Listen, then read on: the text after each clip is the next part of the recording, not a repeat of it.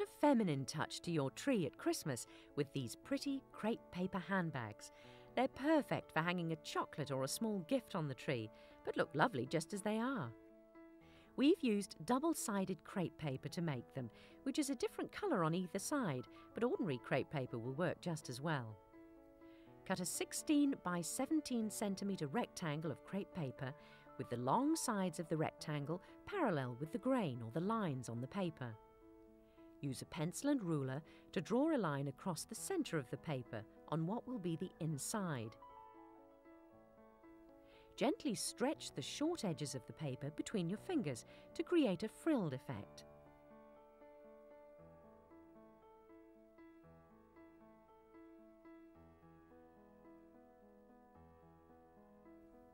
Use a 20 centimetre length of silver cord to make a handle. Seal the ends of the cord with household glue to prevent them fraying. Then use a glue dot to stick the ends in place just inside the short edge of the bag. Using a piece of scrap paper to protect your work surface, run paper glue along the long edges of the crepe paper and fold in half along the fold line.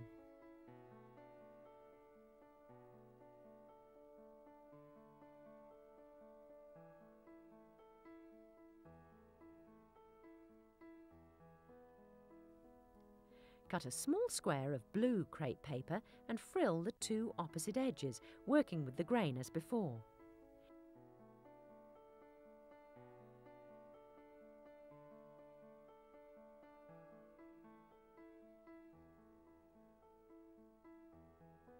Use paper glue to stick the square to the front of the bag, then decorate with a star, sticking it on with a glue dot.